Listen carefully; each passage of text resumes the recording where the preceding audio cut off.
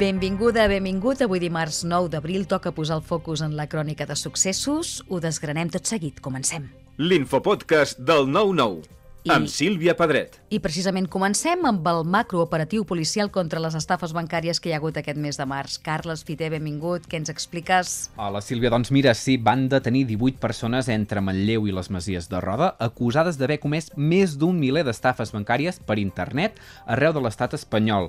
A més d'aquest delicte, també se'ls acusa de blanqueig de capitals i pertinença a una organització criminal.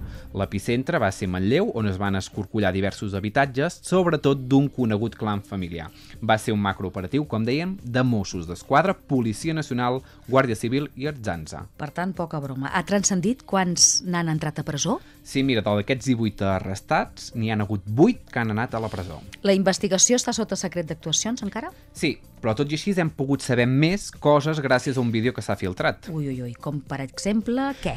Mira, primer de tot que l'operatiu policial s'anomena Lleuman, que ve, venen a ser les síl·labes de Manlleu intercanviades en l'ordre. I després que a través d'aquestes imatges hem pogut observar primer com doncs, les entrades policials amb portes rebentades, el gos policia ensumant rastres, els habitatges, diguéssim, escorcollats, però sobretot el que capta més l'atenció són les armes que s'hi poden veure, com un parell de pistoles o una destral, o una plantació de marihuana i fins i tot targetes de crèdit i de telefonia mòbil. La pregunta que se'ns acut és qui ha filtrat el vídeo?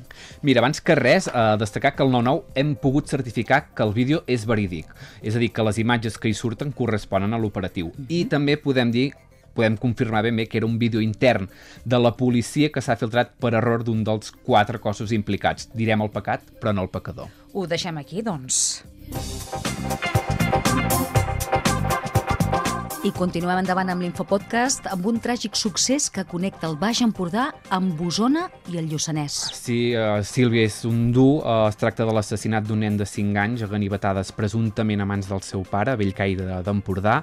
Va ser fa una setmana i la mare i parella del presumpte autor també va resultar ferida de gravetat per diverses punyalades. Aquest cas de violència vicària ha colpit Catalunya i també les nostres comarques pels vincles familiars materns amb les dues víctimes. Resulta que l'àvia de la criatura viu i treballa Osona i a Lluçanès, concretament al Consorci Hospitalari de Vic i a la UBIC. En totes dues institucions, òbviament, s'hi van fer minuts de silenci la setmana passada per condemnar aquest cas. Dissabte, la jutgessa de la Bisbal d'Empordà va acordar presó provisional sense fiança per l'home. I n'havíem de parlar, sens dubte, a l'Infopodcast. I avui, on anem? Doncs toca continuar endavant. Acabem amb llibres, és així, Carles? Exacte, doncs mira, demà a la sala d'actes 1 d'octubre de la Biblioteca Pilarín Vallès de Vic acull la presentació de tres llibres que han rebut premis literaris aquest 20, 2024. Es tracta de Jordi Puntí, Premi Sant Jordi amb confeti, Ramon Gené, Premi Ramon Llull amb Història d'un piano i Jaume Clotet, Premi Josep Pla amb la Germandat de l'Àngel Caigut. L'acte gratuït és a les 7 del vespre. Doncs vinga, premis donats i acabem. Això és tot. Moltes gràcies, Gràcies. Carles Fiter, i també a vosaltres per connectar amb nosaltres. L'infopodcast del 9-9, una coproducció del 9FM i la xarxa.